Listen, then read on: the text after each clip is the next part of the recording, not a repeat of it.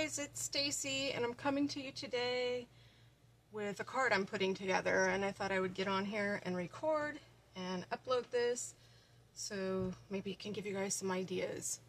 Um, so what I did was I heat embossed some images on some vellum. This is Elizabeth Craft Design, I think it's called Respect. Um, and then I used die cuts and I heat embossed these in white and I cut out a bunch of them. And then I made this background on some Yupo paper with uh, alcohol inks. And I just heat embossed um, a sentiment and die cut some prayers from a Hero Arts Prayers Stampin' Cut. And I'm going to put it together. Oh, and I used, this is a 5x7, so I used A7 layering dies from Waffle Flower and some holographic paper and I just put them together and uh, die cut a frame because I don't have a frame that size. And so I thought I would just get on here and put this guy together. So hopefully it's not too clumsy.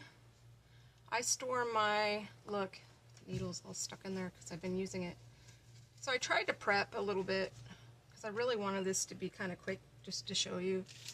Um, but I had put those together and I die cut two out of white cardstock and then um, then a holographic frame with those waffle flower dies. So I'm using art glitter glue with a precision glue tip. That's how I'm able to get this so fine. And this is actually a card that I'm making for Lena. She is uh, Jamie's uh, from Sweet November Stamps, her cousin dad just got out of the hospital, or he's still in the hospital. They found masses on uh, on his brain, and so what I did. Let me do this really quick. Oops, that is not going to work, is it? Um, what I'm trying to do is just glue it on the edges here. That's why I put the glue down first. So um, they found masses on his brain and lung, uh, lungs, and he's in the hospital right now. He just had surgery. So um, we're going to run this over and put this in her little egg coop. And uh, I have a plant that I have for her, and I crocheted a um, pot for like a basket so, did you see how I did that? Hopefully I was in frame. So what I did was I put all the glue. So if you could say some prayers for her and her family, that would be great. Um, positive thoughts. So what I did was I went ahead and put the glue on the frame like that so that it wouldn't show up on the vellum. And then um, position where I wanted. So I'm going to do that, but I'm going to trim these off here good scissors over here. That's okay. So they're stuck enough for me to trim, and then I'm going to, um, because art glitter glue dries pretty quickly. I'm kind of all over the place, guys, so if I'm scattered or the way I'm talking doesn't make sense, I apologize. So what I'm doing now is just trimming so that uh, these don't hang out the edges of the frame. That would be pretty too you left it like that. You could even do it on top of the frame. But I really want that um, background that I made with the alcohol inks to shine. So, like I said, hopefully I'm in the camera's view, and hopefully none of this shifted too bad. I think that one did a bit. That's okay though, I can fix it. And if I wasn't uh, filming, I would let this dry before I did the trimming of the edges, but because I'm trying to do this quickly, because I don't want to edit anything, um, I'm trimming it while it's wet. But if you're doing this at home, let it dry. It'll be much easier. Let's see, let me make sure I got all that off the front of it.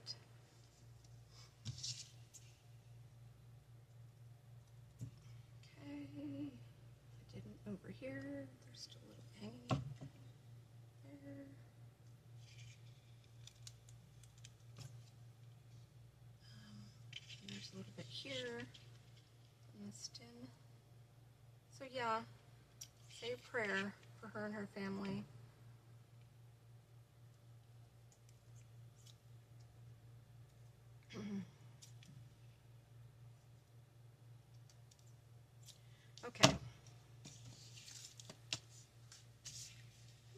Actually take like this and put it maybe here, like a little extra. Eh. I wasn't wanting to fill everything up. I wanted some space for it to breathe. I gotta be careful there's glue on the back of this frame. Uh, and then I'm gonna be putting the prayers like this.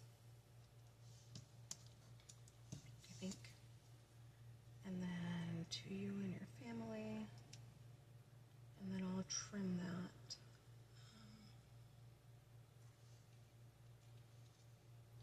even it would look good down here. A lot of times I like to put my sentiments and have it overlap the images. I think that it um, makes a more cohesive card and like I said I want room for this to breathe. I think I will put the little leaf, the um, yeah, these leaves here in the corner. So just a little bit of glue there so it doesn't show up on the vellum in the front. And I already finished the inside of the card. I need to write in it. I'll show you guys that when I'm done. Here, um, let's see. So what I'm going to do is attach this first and then we'll attach this and then we'll put it on the card base. So like I said, if you're making something like this at home, give it time to dry before you start moving everywhere, especially because this holographic paper will show the glue, but I'll show you how to fix that because I did get some glue on it, especially if you're using um, liquid glue. I like liquid glue uh, for the most part. It's usually what I use. Rarely do I use a dry glue or tape. Because uh, art glitter glue is so, it's pretty good. And if you use that precision tip, hopefully I don't get my head in the frame. Okay. If you use the precision tip, it's usually so fine that it really doesn't show up through your cardstock unless you're using like copy paper, which I've even done that before and it hasn't came through on there. I should have checked where, which way I wanted this um, on the alcohol ink background, but and if you've done alcohol ink backgrounds and you're having a problem with them drying, um, you probably, you may have too much alcohol ink. And th I mean, that's kind of, especially like I have older Ranger alcohol ink that's probably, I don't know, it's probably 12, 13 years old.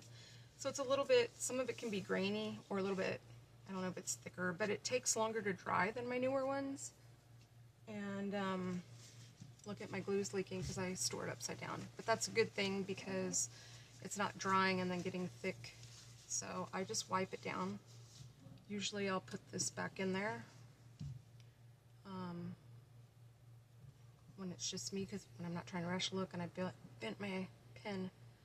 That was super smart, guys. Don't do that at home. So I think that's, I'm going to pull it out of, well, hopefully you guys can see that. It's a little crooked on there, darn it. Mm, that's going to drive me bonkers. Because I'm kind of like OCD. But take time next time. When you're at home, take time. So I'm going to do that.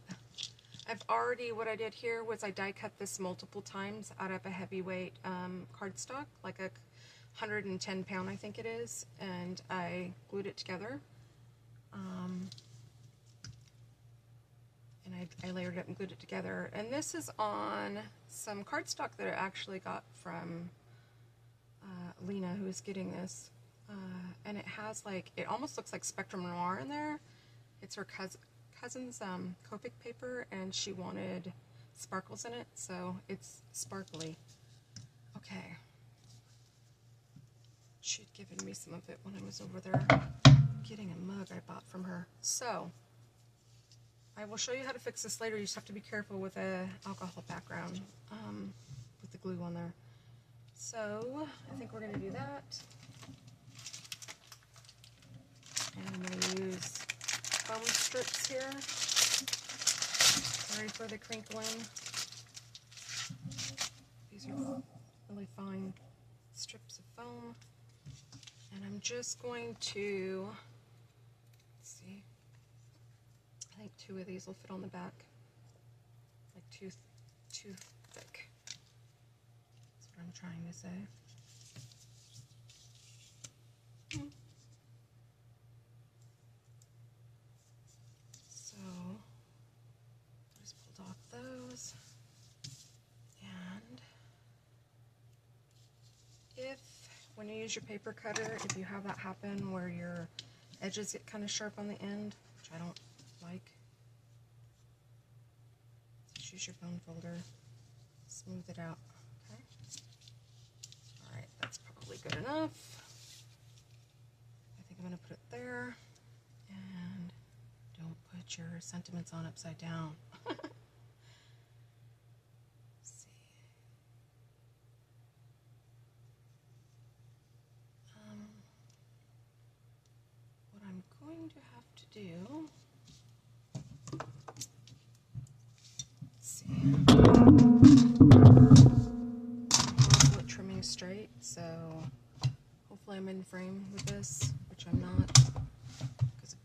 on my desk. Um, and this has the wire that shows you where you're cutting. So, and that's not working. Do it before you put your foam on the back. It's gonna drive me bonkers because that's not straight either. okay.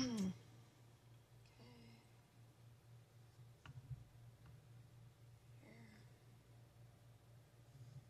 Tilt that up so See it. Too bad.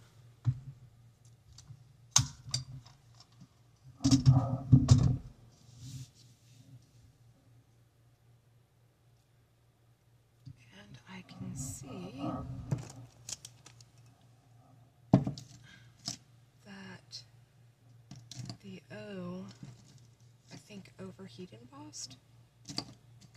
Um, I'm looking for my 10 thickness gel pen. That's what I'm doing here. Eight, eight, eight. there we go. And in this, like, I didn't want to go with uh, a drab card. I wanted a little bit of shimmer. I didn't want it to be over the top, but I think when somebody needs encouragement, the card needs to be cheery or just, you know, be light and airy, depending on the situation. So what I'm going to do is I'm going to have to pull that off of there because I want to see I should have planned this first. Darn it. Here's what I'll do. Because otherwise I'm going to tear that up and I should have planned, since this is being hand delivered anyway, I should have left a gap there for the thickness of the prayers there, but here's I, how I can fix that. I'm just going to do two layers of foam tape. So, I'm going to attach the prayers there. And then this can go on this side. You just pull that back, snip.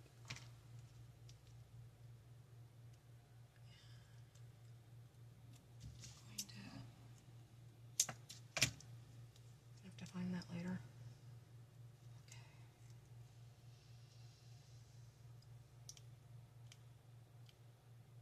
Okay. Make sure it's hidden back there. So I'm going to attach this with my art glitter glue. And it's probably going to start pouring out because I store it upside down. So even if I set it upright,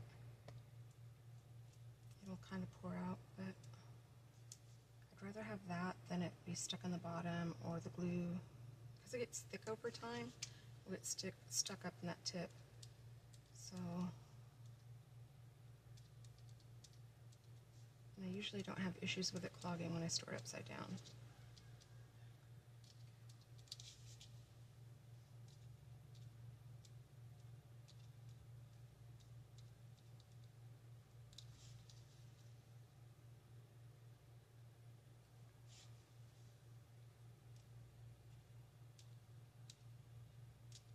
I'll show you guys the inside. I haven't written anything in it. Um,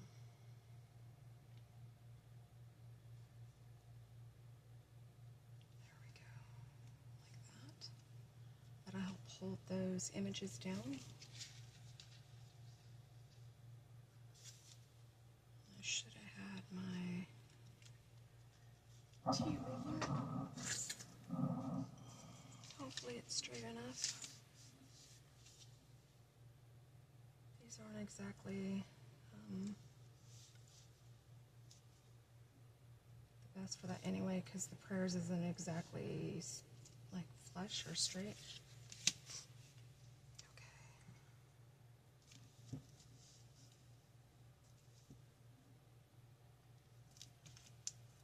And then Go ahead. I just put the block on there to weight it down for a minute, especially because Yupo is a synthetic paper.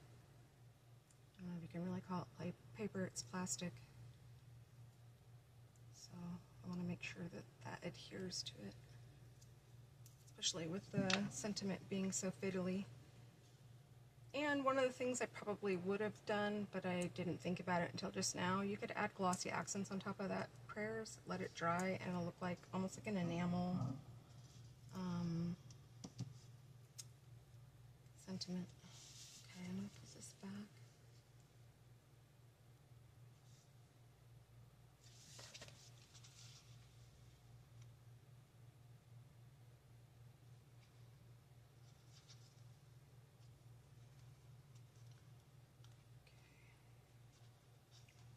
And I'm not going to put any like bling embellishments on here because I don't know if you can see it, but there's the holographic paper, and then this is shimmery, almost pearlescent. So is the prayers. And in the background, I put some Tim Holtz, uh, I think they're called alloys, and it's really shimmery. And I don't know if that's showing up in there, but yeah. And maybe I'll come back after I'm done with this and show you the other background I made and uh, put together another card. Okay, just trying to add a tiny bit behind here so it doesn't show through the vellum. Just a hair.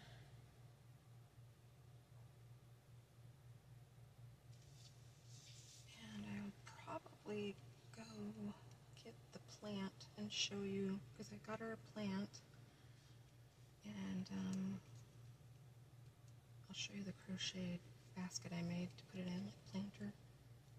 And not all of these have to be attached, right? Because they're being held down by not only the frame, but it's just a little extra. And if you do little dots behind the heat embossing, it typically won't show through the vellum.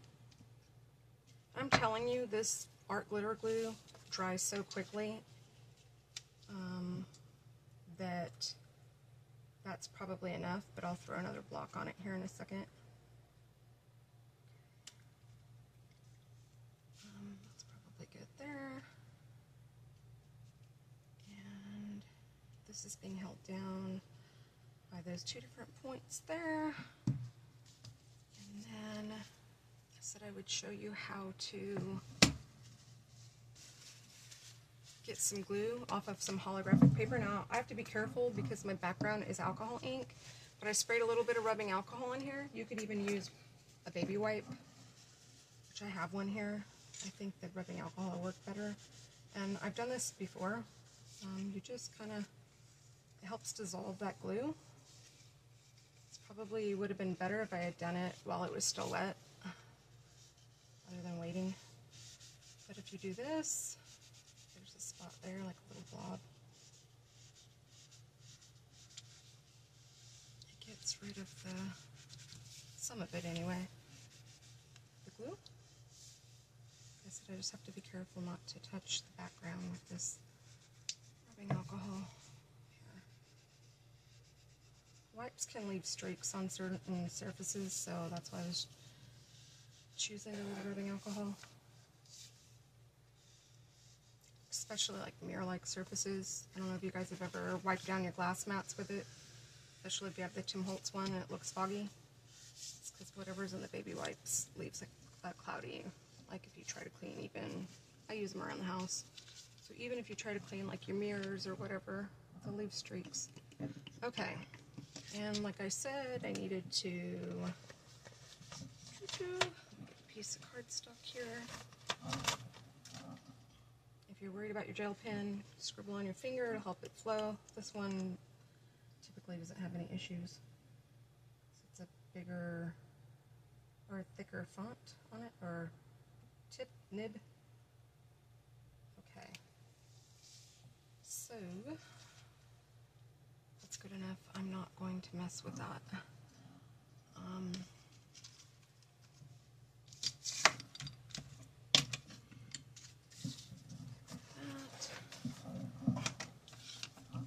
I went ahead and did the inside with the same pearlescent cardstock that's here. I took some spare, um, some of the um, whatchamacallits, the images that I heat embossed in white embossing powder and the uh, and glued them in there. Okay, on the vellum. So what I'm going to do is I'm going to attach it there. I want to make sure it's right because I did my handmade with love.